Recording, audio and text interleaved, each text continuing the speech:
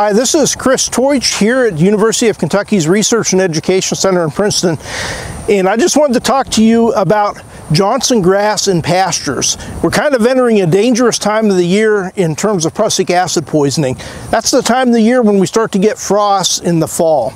And as you know, when Johnson grass gets frosted like other sorghum species, it releases a toxin called prussic acid, and prussic acid can cause poisoning in livestock. So if we're grazing a pasture and you've got Johnson grass in it, and it looks like a frost is likely, those animals need to come out of that pasture. What happens when the frost the plant is it ruptures the cells in the Johnson grass plant. And we've got a Johnson grass plant right here.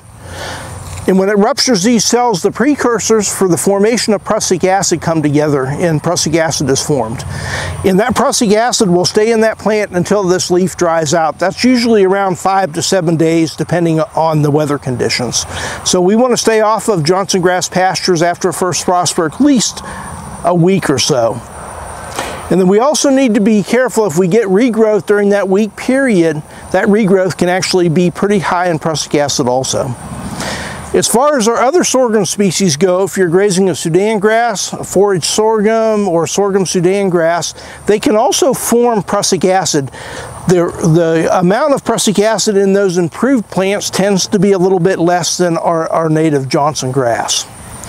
So, if you have any questions about prussic acid in your forages, get with your local agent. Your local agents have kits that they can actually test the forage with to see if prussic acid has been formed in your sorghum species.